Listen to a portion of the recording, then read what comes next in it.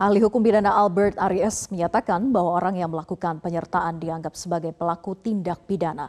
Albert menjelaskan orang yang melakukan penyertaan bisa dengan melakukan sendiri tindak pidana tersebut, juga bisa melakukan tindak pidana dengan perantara alat atau menyuruh orang lain.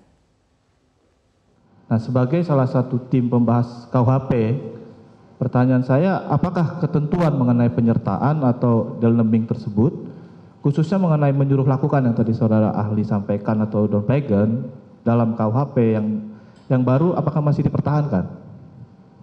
Ya, jadi uh, ketentuan mengenai penyertaan dalam KUHP baru itu uh, masih dipertahankan, tapi rumusannya telah direformulasi dengan lebih jelas supaya mengurangi uh, misinterpretasi atau multitafsir. Apakah boleh ditampilkan di yang slide kedua?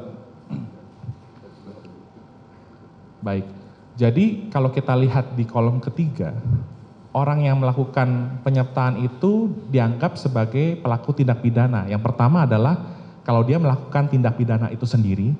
Yang kedua, melakukan tindak pidana dengan perantaran alat atau menyuruh orang lain yang tidak dapat dipertanggungjawabkan. Yang ketiga, turut serta melakukan tindak pidana.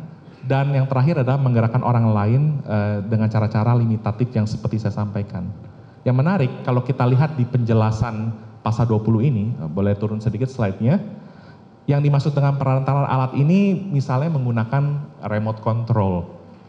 Bahkan dalam keadaan eh, lain itu bisa saja menggunakan bantuan dari binatang. Yang digunakan secara langsung, secara tidak langsung maksud saya, untuk melakukan tindak pidana, karena dalam hal menyuruh lakukan, penjelasan pasal 20 KUHP baru ini mengatakan, orang yang disuruh melakukan tindak pidana tidak dipidana karena tidak ada unsur kesalahan. Berarti berlaku asas tiada pidana tanpa kesalahan. Henstraf, Zonderskut atau Actus non facit reum nisi mensitrea.